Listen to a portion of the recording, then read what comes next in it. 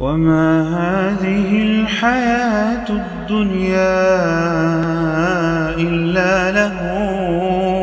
ولعب وإن الدار الآخرة لهي الحيوان